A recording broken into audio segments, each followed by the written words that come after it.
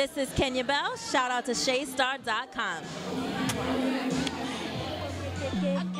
I'm turning up. Jazze got me on fire. I'm burning up. Hey, what's up? It's your girl Shay Star reporting live from the Fuzion Mag event in New York City. Look who I have the pleasure to sit next to me, Miss Kenya Bell. What's up? Hey, how you doing? You look fabulous. Thank you so much. I love the makeup. The eyes are amazing. Thank you. Yes. She walked in and just commanded the red carpet. Everybody, was, you That's know, what look, that's what you're supposed to do.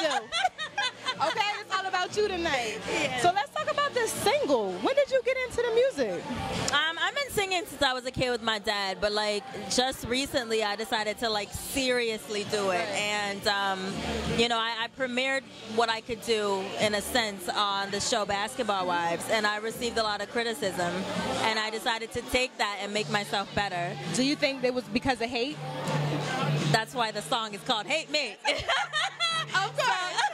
but yeah, so I, I just I did a song with Jazze Pha, and the song is called "Hate Me," and it debuts December 11th with Universal Music Group and Bungalo Records. I'm very excited about that. I signed with them, and um, I, I think that it it basically speaks to what I went through to get to where I am. It wasn't an easy road. I worked my butt off. I can I can believe it. I can And believe you know, it. I just I'm gonna keep pushing. I'm gonna keep working, and, and that's that's what my single is about. As you should. So what was it like to work with Jazze Pha, like one of the greatest of all time? Yeah, yeah, he's super cool. Like one of the coolest dudes ever. Like it was so comfortable. He made the experience very easy, and I mean, he's a very great producer, and he knows what he's doing. And you know, he we made a great song together. So I love him to death. He's amazing. How did you guys hook up? We actually had a mutual friend, one of my mag- man- one of my managers in Detroit, um, Preval, is friends with him.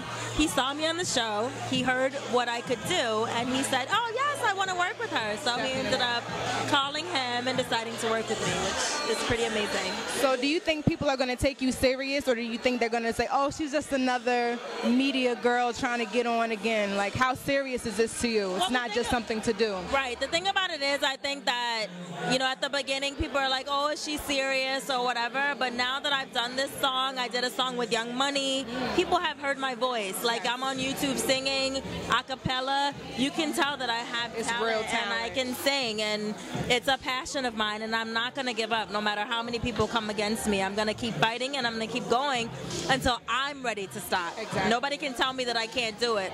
When I say that I'm done, then that's when I'm done. And I think for me and for everybody who's listening tonight or today, keep working until you're happy. Don't let anybody stop you from your dreams and, and what you think that you're capable of doing. Keep going until you're satisfied. And that's the best I could advice I could give anybody. So that's what I'm doing.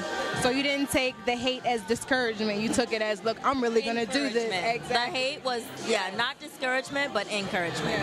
So any words you can give to any young girls out there who might be who might see you on the show and then see you like this. So what is it that you want people to most remember you as? Just remember me as a fighter. Remember me as a champion. Remember me as somebody who does not give up on their dreams and what they believe in.